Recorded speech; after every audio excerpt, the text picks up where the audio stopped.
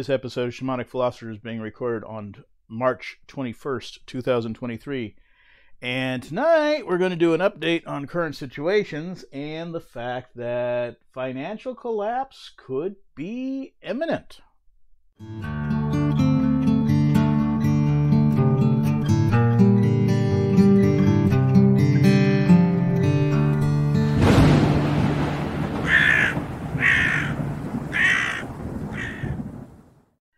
Yeah, so uh, interesting times. You know, um, I wasn't going to do an update, and then this stuff came up, and I was like, ah, crap. I guess probably ought to do an update. Um, you know, it's it's one of those things where I, there's other things to be worried about right now. Uh, you know, if you've prepared, anyways, and if you haven't prepared, well, um, whoops, um so yeah, it, it makes it hard for me to want to really do too many updates because it's like, eh, I got other things on my mind. Uh, but at the same time, uh, you know, I think it's worth it to to make people aware of what's going on. And there's there's a situation that's come up, and uh, a few people are talking about it. Of course, all the all the some of the better financial uh, guru uh, types commentators uh, are all talking about it but there's an element to it that I don't hear them talking about, and I, many of them are smart enough that I figure they probably recognize the fact they just don't want to creep the hell out of people that badly. But I have, uh, I don't know, I, I, got a severe lack of taste, uh, sufficient enough to creep the people hell out of people. Um, I don't know, whatever. Um, so yeah, I figured I might as well bring it up and uh, it does go around the idea not just banking collapse uh, but you know complete financial armageddon.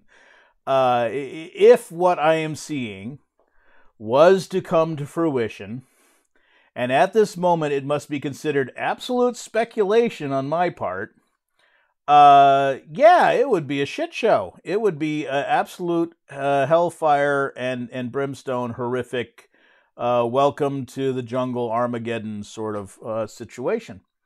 So, uh, you know, we can basically hope that I'm wrong, and who knows, I could be. Uh, there's a lot of stuff that I, I don't have details about, but I, you know, I see a pattern here, and, you know, I'm a big pattern thinker kind of guy, and so when I see a pattern, it gets me a little bit worked up. You know, that's a it's a skill that is not always proven to be correct, but it's been proven to be correct a far uh, more of the time than it's been proven to be wrong. And so I do tend to trust uh, my observation of patterns. So here's the situation, more or less.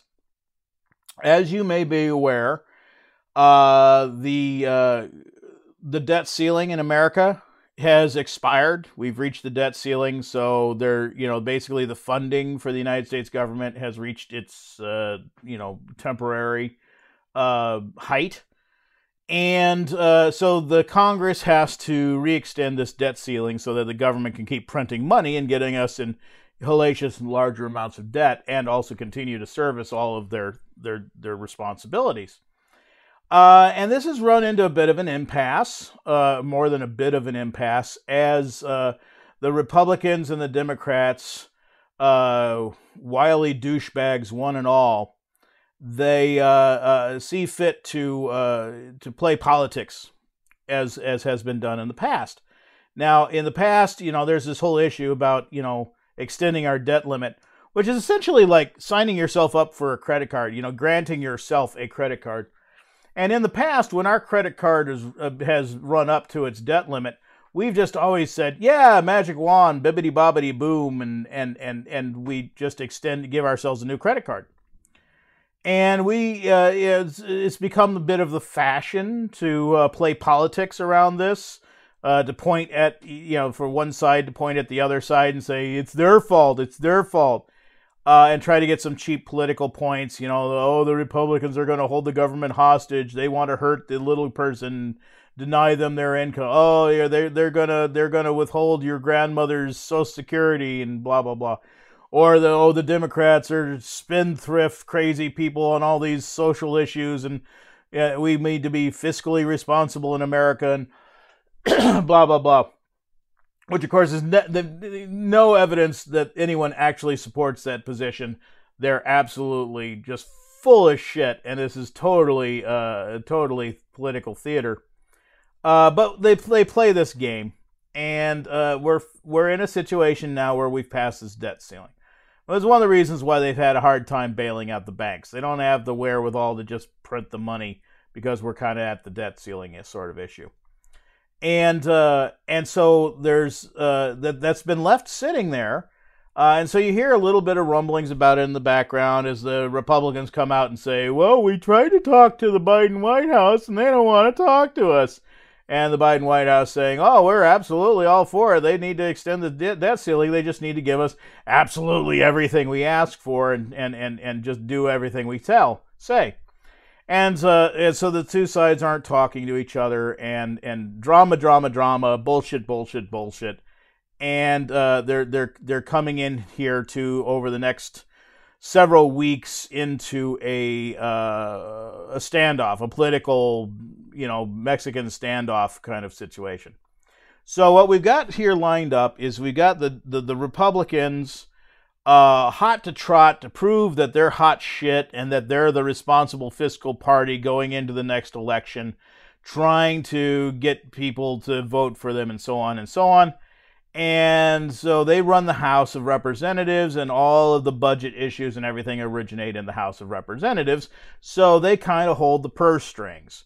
And they don't want to fund or the, the, the Biden White House uh, with all their programs that they're doing and everything like that, many of which are extremely detrimental to this country. So, you know, there's good reason to not want to fund them, but ultimately they, they will.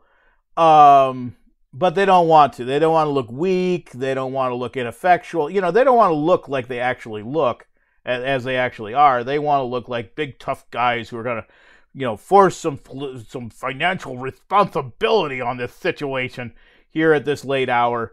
Uh, at, at the point of complete and utter collapse. Now we're going to have some fiscal responsibility around this place.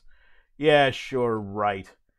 Um, but they got they got this game to play. They've they've got to they got to slap their their Peter on the on the on the uh, board and measure it out and show how manly they are. And uh, so they're they're they've not extended the debt ceiling, and uh, um, and we're getting very close to default. You know, and and and default basically means that they're going to have to start you know shutting down government agencies, scrapping Social Security, scrapping food stamps. Of course, obviously they'll you know push it off on on the average person instead of themselves as much as humanly possible.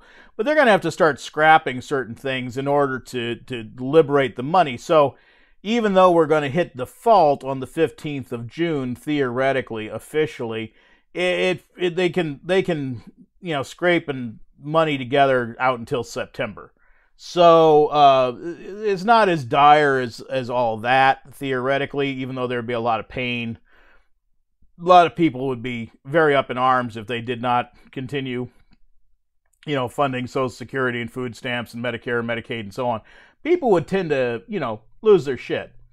Um, and so uh, it's not as dire as it could be pointed, painted to be, but of course they're going to make it as bad as possible and uh, and what have you. So you've got the uh, the Republicans trying to look tough. On the flip side of that, the Democrats want money. They want all the money they want. They need money to bail out the banks. They want to send money to Ukraine. They want social programs. They want all these different things. They want their green agenda. They want all these different things. And they want to be able to spend their money as freely as they see fit and especially sending lots and lots and lots of money to Ukraine, billions, hundreds of billions more to Ukraine. Um, so there's a real, you know, real impasse here. So the Republicans figured, and they've been very obvious and vocal about it, that they're going to put some pressure on the Democrats here and make it, you know, oh, look at them. They're, they're, they're not fiscally responsible. We're going to stand up and be fiscally responsible and they're going to play this game for at least a little while. You know, it never tends to last very long, and I don't see these people having the balls to actually do anything that would make anybody kind of grumpy. They just got to put on a, you know, on a display for how badass they are and stuff like that. Well, the Democrats don't want to be made to look bad. You know, we are coming into an election cycle. Biden's about to formally announce his presidential candidacy. Apparently, it's already been videotaped. It's just going to be released at a specific date and time and blah, blah, blah. So it doesn't look very good for Biden to come out and announce his presidential candidacy on the back of having a government shutdown and people suffering and, and, and a bad economy and all these different things. So uh, the Democrats have come up with a plan. They've been hinting about it. They've been talking about it. They've been, you know, saying the soft part out loud, sort of dropping hints or or perhaps, you know, Freudian slipping things, which of course could be misdirection, but you know, it it it's hard to say. We'll take them at face value for the for the moment. And they've been coming out and saying, you know, kind of to themselves, but enough that all the financial people and a lot a lot of political people have noticed that they intend to uh, turn this back on the Republicans. That they're gonna they're gonna pl- play a 180 on the Republicans, or so they're hinting or stating that they're going to do. And the suggestion is right now that as soon as the Republicans fail to vote or vote no on an extension to the debt ceiling, which is coming up in like a week, a uh, week and a half, something like that. I don't I don't remember the exact date, but very shortly that the Democrats have already planned to crash the stock and bond market on the exact same day or on the very next day as soon as the Republicans vote no. And so, of course, you have this major crisis. You got like a 2008 fi- uh, housing collapse sort of crisis uh, where you suddenly got all this pressure. It's like, oh my God, the stock market just fell, whatever, 2,000, 3,000, 5,000 points uh, you guys better extend the debt ceiling right now, or else it's all your fault. It's Armageddon. The bonds are selling and everything, and everything's becoming worthless, and everyone's retirement's disappearing, and every all the Social Security is becoming worthless. You destroyed Social Security. So they're planning on creating this big, big crisis moment uh, to to turn it back on the Republicans and make the Republicans look bad. So we got this, you know, this real bigger dick sort of contest going on between the two parties, uh, where the Republicans want to make the Democrats look bad, the Democrats want to make the Republicans look bad. So they're going to be playing these financial shenanigans, and of course, the fact that it hurts people is completely beside the point. Doesn't matter at all. And of course, uh, once everyone's managed to uh, toot their horn uh, enough, uh, then that everyone will you know roll over and basically give carte blanche to uh, to more credit uh, as much as they want, and so on. As soon as they you know as soon as political points have been scored, so uh, this would be bad enough just on face value, just on what it is. This would be a serious issue. Um, this uh, you know, in the best of times, this might just be a, a hiccup, a, a bit of political theater. The more emotionally sensitive people get all fussy and get their panties in a wad, uh, increasingly more literally. Um, and uh, and then it would pass, and those people who love drama would have their drama, and those people who like to panic would have their opportunity to panic, and then they would just you know, sign off on more criminality and just do keep doing the same kind of bullshit shit they always do, no matter what, anyways. And everyone would forget about it and life would go on. But in the situation where we're in right now globally, this is probably a really bad time to be playing this kind of nonsense. And as I look at this situation, you know, in the situation itself, a lot of people are very worried that uh, the Democrats are going to crash the bond and stock markets uh, permanently, which I I very much very much doubt that is their intention to do. Uh, and and and then so everyone's a lot of people are getting their their their dusters in a fuss over this idea that everything's going to crash and it's going to stay down. And of course, generally what do they do? They'd let it drop a little ways and of course use that as pressure on the Republicans, get them to print the stuff, and then they'd shore the market back up. And so, you know, you'd have this hiccup, but it wouldn't be a long lasting hiccup in a month or two. It'd be back to where it was no matter what, anyways. And it was just enough to, you know, to hold it over the Republicans' head about what horrible, evil people they are. And uh, and this would be kind of the game. But something's being missed here, and uh, it's a pretty big something, and um, it, it's a pretty important something, and it, it potentially turns this little political drama, this this this wag the dog uh, Sunday matinee, into a real Armageddon shit show. And I don't know that it's going to happen, but it's like a golden opportunity. It is a wide open invitation for absolute destruction uh, in, in a way that it would just leave people shocked, stunned, and, and staggered uh, by by the situation.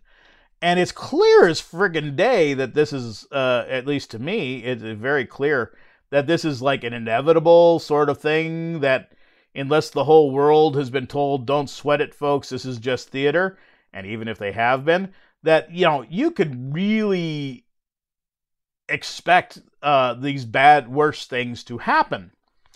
And so, what are these worst things? Well, here's the thing they've given a date and a time for when everyone's assets are going to become worthless. You know, the, the situation I just laid out is the Republicans are going to, want to play strong. The Democrats are going to allow the market to crash, the bond market to become worthless, the stock market to be, to take a big dip. Uh, and they've basically said what the date and time. You know, the Democrats have been dumb enough to actually put out what the date and time of this would be. Uh, and even if we don't have the specific date and time exactly right, it's it's still generally correct. So there's a you know immediately after this vote, if they don't vote yes, we crash the economy. And of course, we know also that there's June 15th, which is the default date, and that's written out in stone unless they fix things. And so we know that date's out there. But I don't think, I, would be surprised if it takes that long. So, you, you know, it's one of these things where you have to ask yourself if I told you to your face that I'm going to get 20 of my friends heavily armed and come to your house tomorrow and I'm going to steal everything in your all your assets, everything you own. I'm going to clean you out. What would you spend the next 24 hours doing? Well, aside from getting your own guns ready and maybe getting your own 20 or 30 friends, uh, another thing you might do, and, and a thing you might probably, very probably do, would be taking everything of value you have and getting it out of your house. You know, that perfectly reasonable thing. And whether you moved it to a storage shed or you gave it to friends or you gave it to relatives or you put it in a safe deposit box in the bank or whatever, anything of great value, you'd want to get it out of the house in case I actually show up and I actually try to steal everything that you have. And this is a perfectly normal reaction. I mean, there was, a, a, you know, this is the sort of thing where if you know you're going to incur a loss, you take such steps as to prevent that loss. You know, you try to preserve as much value as you possibly can. You try to you try to hide your stuff. You try to keep your stuff, whatever it is. So we've got a situation here now where the there there are people out there in the world who aren't super fond of us right at the moment and uh, they have been waging an economic war against us, and they have been hands down winning.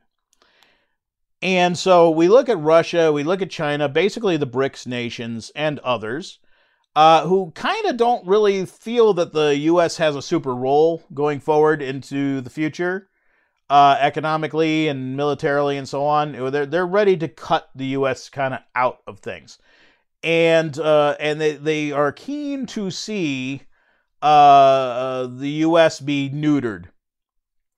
Uh, they have plans, so they also have a lot of bonds. Uh, also, a lot of our allies have a lot of bonds. Everybody's got a lot of bonds over the last, you know, 70 years or whatever it's been since the petrodollar has been incepted.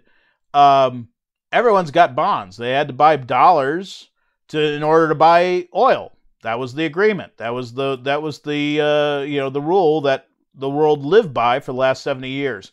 You must die, buy oil in dollars. And so countries that needed to have dollars on hand didn't always want dollars. They, you know, to, hold stuff just in cash, but they wanted something else that was exchangeable, readily exchangeable for cash. So they bought bonds. And so everyone's got a lot of bonds. India's got a lot of bonds. Japan's got a lot of bonds. Russia's got a lot of bonds. China's got a lot of bonds. Everybody's got a lot of bonds. Well, now what the Democrats have basically done is they've come out and said, we're going to make all those worthless at a specific date and time. You know, we know when this vote is going to take place, and immediately after the vote, give or take a little bit, you know, give or take a few hours a day or whatever they decide to, whenever they decide to do it, we're going to render all those assets that all you people all over the world, we're going to render all of those assets 100% worthless. So, like you, and how you might respond if I threatened to come and steal your stuff, how do you think that these people might respond? Might they, in fact, try to get rid of all the bonds that they could possibly get rid of before such time as they become absolutely worthless? Know, seems like a re- fairly reasonable thing. Uh, and this is, uh, you know, this this is the thing where let's let's let's run a scenario here. What what could happen? Let's say um, the Democrats have more or less said, more or less announced, that they're going to crash the bond market right immediately after the, the Republican vote. And let's, you know, and it doesn't really matter how the Republicans vote in the in, in this scenario. The Republicans could, could vote to actually extend the uh, credit, or they could vote not to, and it wouldn't make any difference to this scenario. Well, if I'm sitting on a crap ton of assets, bonds in this case, if I'm sitting on a crap ton of assets and I recognize that they are about to become worthless, I'm going to probably do everything I can to get rid of those uh, bonds as fast as I can. So I'd start selling them off in fairly large chunks, as large as I dared, so that I didn't drop the price too much. But the goal would be just to clear my books of all the bonds possible and I would know that I would have a cutoff date that all this must be done before the vote is taken. You know, whether it's a positive vote or a negative vote does not matter. I have to be out of bonds before that date because if the vote doesn't go to extending the credits, the debt ceiling, which it looks like it's not, then my assets become worthless. They can become absolutely zero, valueless, worthless. So if I'm going to get any value from them at all, I must get rid of all of them. So basically, what the Democrats have done here, and I think it's quite unintentional on their part, it's just incompetence. They've set up a fire sale. And, you know, if you've ever watched, there, there, there's a good movie you can watch called Margin Call. And it kind of shows, uh, in approximate terms, what happened in 2008 with the housing collapse.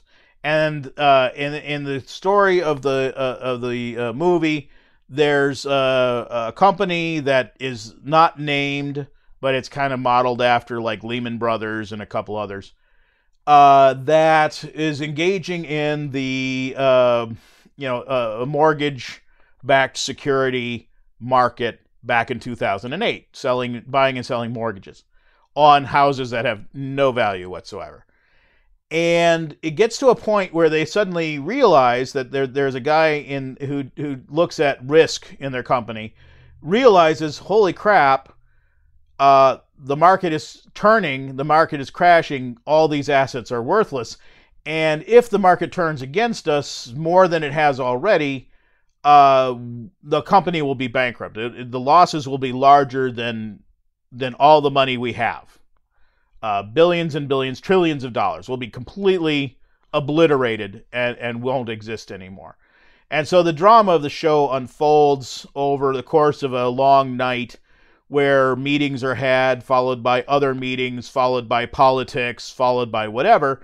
And the long and the short of it is they decide that the only course of action that they have is that, that is possible to save the company is to, as soon as the market opens up, to sell all their assets while they still have some value and just clear the books because otherwise they go bankrupt. Now, admittedly, they're selling assets that are absolutely valueless, they know are going to blow up in everybody else's accounts.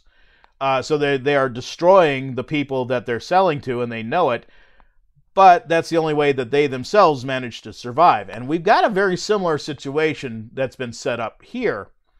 Uh, so you know, if if people know that the bonds are about to become worthless, even if just temporarily, even if just for a day or two, even if just for a week or two, uh, if they know that the bonds are going to become worthless and there's a certain amount of uncertainty as to whether or not they will uh, come around or whatever, the uh, the interest of everybody holding bonds in the world is to get rid of those bonds before that vote takes place.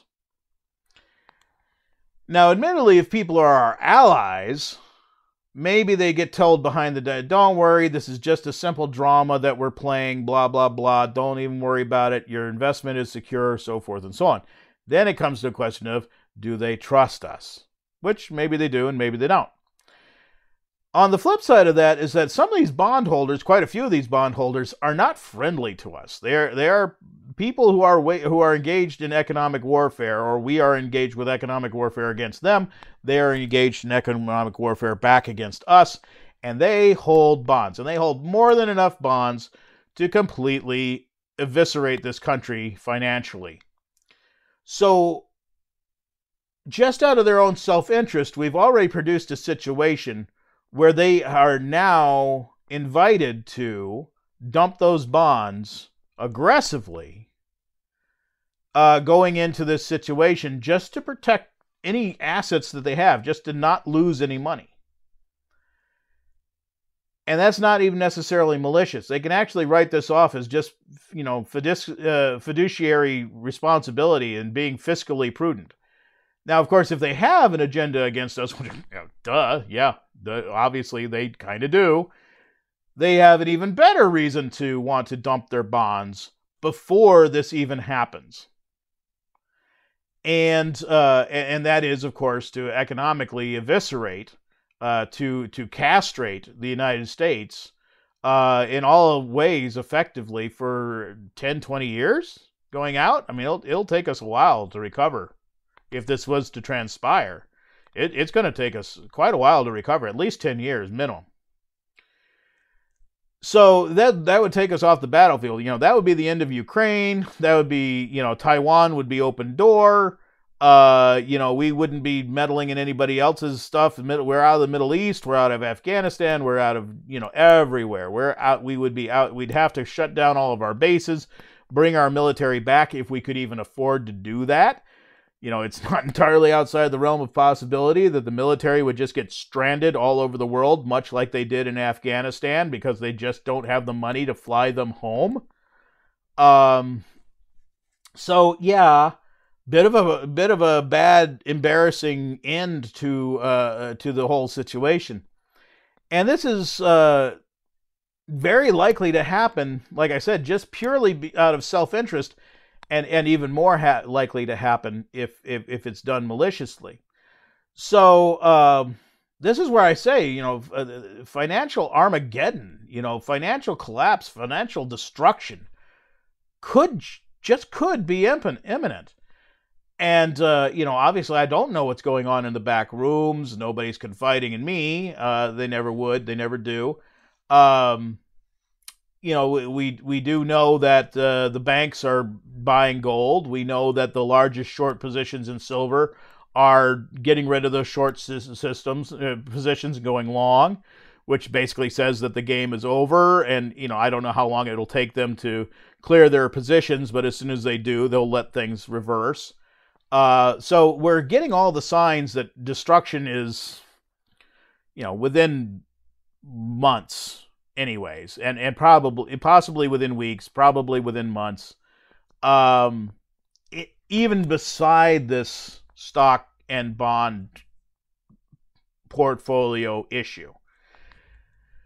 But now add on top of that that suddenly out of clear blue, possibly as early as like Monday or sometime very shortly thereafter, we could just start seeing countries, uh, allies and and and otherwise, just starting to sell bonds like at a steady, horrifically steady pace.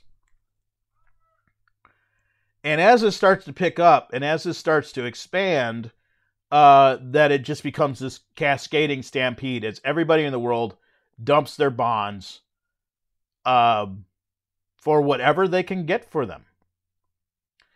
And actually, it could turn out that the stock, or the bond market, crashes and is completely destroyed before the vote is ever taken, because people just move to protect themselves or they move to destroy us. Either way, we've we've we've presented our jugular vein and asked them not to stick the knife in. Uh, that may not be a great policy. So, if this was to occur, what sort of things would would happen? Well, you know, uh, uh immediately retirement accounts would be destroyed. Retirement accounts are required to hold bonds. So the bonds that they hold, either they would understand that this is happening and have to sell the bonds themselves, um, but of course it, it's unlikely they'd be able to clear them. They may not be able to sell them legally. Uh, they may not choose to sell them, and they would be end up having all of their assets or a, a large percentage of their assets completely wiped out. So retirement funds would be gone. A lot of funds, a lot of investment funds have to hold cash in bonds for security reasons they would all be wiped out. And this would uh, immediately, of course, cause that uh, those who own stocks and everything to have to sell stocks to try to try to raise enough capital to remain solvent. You know that their losses would be such that they'd have to raise capital be solvent. Likewise, most of these banks, these banks like uh, like Silicon Valley Bank and so on, which were in bond-related trouble already, anyways. Well, what happens if all those assets go to zero? you know that's this, you know 60 billion or 61 billion or whatever it is uh, in assets suddenly are absolutely worthless absolutely go to nothing um well obviously it very nearly wiped out the bank well what if now the 1800 some odd banks that are in essentially the same position that silicon valley bank was in that suddenly all the bonds go to zero well they'd be catastrophically wiped out as well, with no chance, because also the debt ceiling hasn't been extended just yet. Uh, very little, minimal chance of, of bailout. Uh, of course, obviously, with all these funds going down, with all these banks going down, the stock market would also collapse. Uh, and almost all, I mean, um, basically, without banks, if you don't have credit, you can't run real estate. Real estate would collapse. You can't run industries; you, you, they would collapse. Transportation would collapse. All kinds of things would collapse because there's no credit and so on. It would become a cascading failure that wouldn't just take out the United States; it would take out most of all of Europe. You know, the eurozone and NATO, uh, New Zealand, uh, Australia, most of the South Sea Islands, uh, possibly Mexico, maybe, maybe not Mexico, but probably Mexico, Canada, uh, UK, a lot of the Caribbean, uh, a lot of Southeast Asian countries, Korea, South Korea would be decimated. All these places that are either tied to the dollar or hold a lot of bonds or are you know heavily invested in in the dollar and the dollar system would just would shut down. You know, the lights would just go go off. Um, you know, leaving, you know, all kinds of opportunities for craziness and chaos. And so you'd have this like absolute thing. Now, there's a real question about. I mean, this is the actually reason why our enemies or our or our opponents uh, might not do it because so much of the world would go down. There's a real question: Would they go down too? Can they weather the storm? If they can weather the storm, there's no reason not to take us out right now, right here at this moment.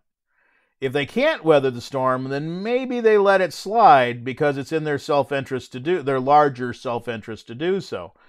On the other hand, if they're willing to take the pain to completely wipe us off the table in a single move, they couldn't ask for a better setup than the one that the Democrats have given them, um, and and the Republicans to a certain extent uh, have given them this beautiful opportunity to just completely, you know, remove us from the game entirely um, in in one fell swoop. So we would see all this sort of stuff. I mean, you know, the, the, the everything that people. I mean, and as far as in the United States, obviously it brings about chaos. because uh, you know it's not just an issue of the ATMs don't work, which obviously would be an issue, uh, and, and, credit you know any sort of electronic transfer doesn't go through, but all Social Security, all Medicare, Medicaid, all all the food stamps, all that all that entitlement stuff just vanishes in an instant. Um, and so people don't have medical care, they don't can't feed themselves. Obviously, people would respond to that the way people have always responded to that all around the world throughout history, which is say, not well. Um, you know, we would see the sort of toilet paper moment writ large as people tried to just get whatever they could get as fast as they could get it. And uh, and so we could see a lot of social chaos from that. You know, there's a difference between rioting and looting. We would see looting, uh, at least initially. Now, as things wear on and and people start to really suffer, then then that potentially produces rioting. Uh, so yeah, this is uh, this could cascade very quickly into a very very ugly scenario. Um, and it's it's hard to know what could be done. Now, admittedly, the United States supposedly has a large store of gold. I mean, that's the thing is that if our, if our enemies really wanted to put it to us, the other thing they would do is not only just sell off all their stock, all their bonds in a coordinated fashion to clear their decks, to, to fire sale their assets prior to the vote. That would be just prudent on their part. If they really wanted to put the stake in our uh, in our heart and sever our heads, uh, they would uh, at the same time announce a commodities backing and exchange for rubles or yuan or whatever they would say, you know, the gold back, gold back yuan, gold back ruble, possibly exchangeable for. And at that point, that that's we're we're done. We every anything and everything we do as this country, we'd have to pay for in resources, uh, including and particularly gold and silver. And no one would do business with us unless we coughed up gold and silver. Now, if we actually have all the gold and silver that we supposedly say that we have, uh, that's you know probably not enough, but it's enough to not be be completely wiped out all in one fell swoop. Though we certainly would have to immediately stop all of our military actions and all of, all kinds of stuff would just have to come to a halt. All entitlements would have to come to a halt. The, most of the government would have to be laid off. You know, like ninety some odd percent of the government would have to be laid off. Um, probably most of the parts of it that deserve to be laid off will actually be left intact, but because uh, let, us not suggest that people are going to bring, you know, like come to their senses. Um, but this would be uh, this would be cat, quite catastrophic, uh, and and we would fare better than other countries that don't have gold and silver. But we would uh, we, we would be hard pressed because you know if, if you got a gold backed yuan, they all they have to do is say you know you either have to buy yuan uh, and they don't want dollars for yuan, they want gold. Uh, they want gold for yuan, they want resources, they want something like that for in exchange. Um, and so dollars just won't do. And so we have to, we would have to then uh, use our, make our gold available. Um, so yeah, it, it, would be a very, very treacherous, uh, it would be a very shrewd and very utterly destructive move. It would be a, a complete checkmate for decades. Uh, that is here right at this moment has been presented on a golden platter to China and Russia and India and and, and others. Um, and and so there's the question is like, well, have we seen in the last couple of weeks any evidence of that this might actually be unfolding? And the answer is uh, potentially yes, as the Japan, Japan basically has broken with the United States financially and has started to dump its bonds in a very serious way, uh, and has and has uh, declared you know interest in the BRICS nations and and is turning away from us and saying they're not going to buy any more bonds and so forth. So Japan jumped ship over the last like week. They jumped ship. Uh, and that's a major blow for us, a humongous blow. They they have humongous amounts of uh, of bonds, and so uh, that is a humongous problem for us, and it shows that somebody out there is paying attention, and they are in fact uh, uh, starting to divest their bonds just right now at this time, where that's kind of like uh, we're at our weakest when it comes to something like that. So now the thing would be to watch and say, do other countries start to follow suit? Is there sort of a cascading failure within this market? Does this develop into a fire sale, particularly like, say, Monday or whatever? Does this develop into a fire sale on, on the bond market? And if it does, then, you know, financial destruction is here. Uh, if this turns into a fire sale run on the bank, uh, domino falling destruction, uh, and and there's and there's every reason why it should, even without any level of maliciousness involved. Like I said, the only thing that would saves us from that is backroom deals, or the fact that uh, the world is like, well, we can't divest ourselves just yet. You know, we've got to keep playing the game out a little longer. And that's pretty much what saved us for the last 20 plus years. But uh, because of the sanctions on Russia, it's forced Russia's hand to pull out of that. And there's increasingly a cascade of people going over to Russia's part on things. And so um, it's very, very probable that we're very close. And if they're not going to do it now, it may not it may still happen within the very very near future. Uh, especially if this if this sort of wag the dog nonsense goes long. So let's say a situation occurs where the republicans vote not to extend the debt ceiling.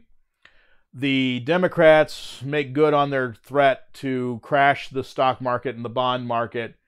And this goes back and forth for you know a, a week something like that, three days, five days a week, uh, two weeks, something like that.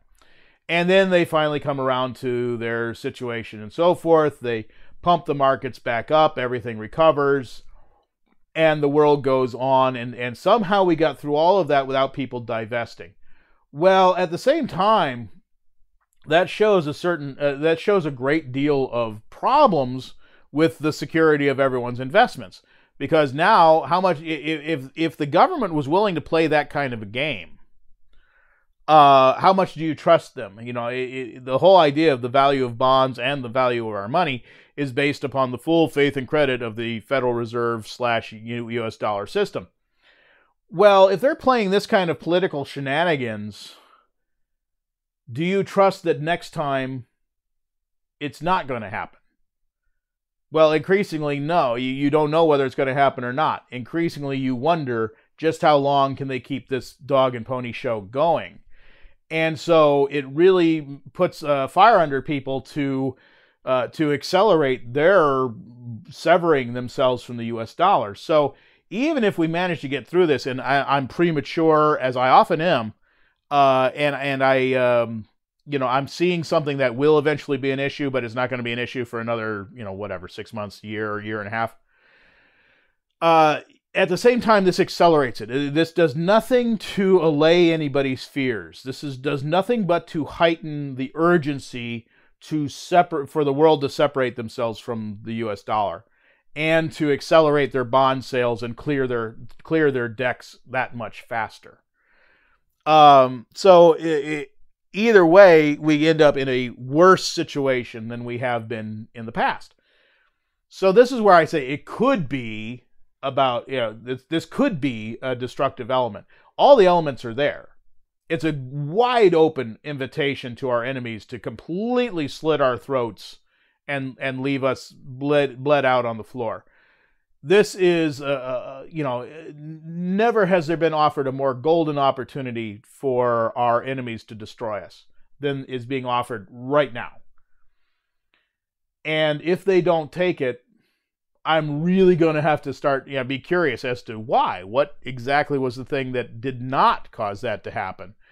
Um, you know th- th- this is you know this is the sort of thing about sticking your face out and making, you know, uh, you know, and saying, you know, come on, just hit me right, right once, right here, right on the jaw. Come on, sock it to me. And they just might, you know. They could easily, and they certainly want to. Uh, will calmer heads prevail? Maybe. Uh, maybe not.